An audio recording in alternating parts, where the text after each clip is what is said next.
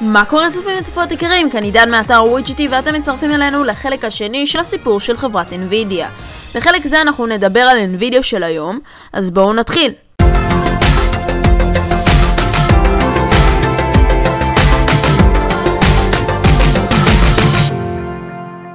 NVIDIA מייצרת היום כרטיסי מסך ומעבדים.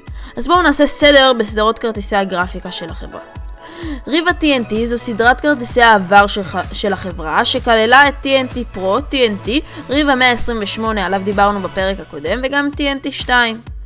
GeForce, סדרת הדגל של החברה לשוק הביתי, מותג זה מתחלק למיני סדרות, והחל מסדרת ה-200, הסדרות הללו מתחלקות לעוד תתי סדרות. אז בואו נעשה בהם סדר. ללא קידומת, שזה בעצם GS. כרטיסים אלו מיועדים לשוק הנמוך, למי שהכרטיס מסך המובנה שלו בלוח האם נהרס. GT, כרטיסים אלו מיועדים לשוק הבינוני נמוך, בעצם למי שרוצה לקבל קצת יותר מהמחשב שלו, לדוגמה לראות סרטוני HD. GTX, כרטיסים אלו מיועדים לשוק הבינוני גבוה, לגיימרים ואורחים.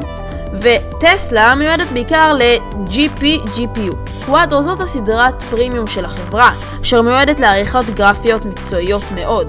לאחר שעשינו סדר בכל כרטיסי המסך של חברת NVIDIA, חשוב שנדע של-NVIDIA יש גם מעבד בשם טרגה, שהוא מעבד שמכוון בעיקר לטאבלטים, סמארטפונים ומחשבי לוח, והוא באמת נהדר בתחומו. וממש לא מזמן NVIDIA השיקה קונסולת משחקים מאוד חזקה, וגם לא כל כך יקרה, אבל בינתיים היא לא כל כך מצליחה.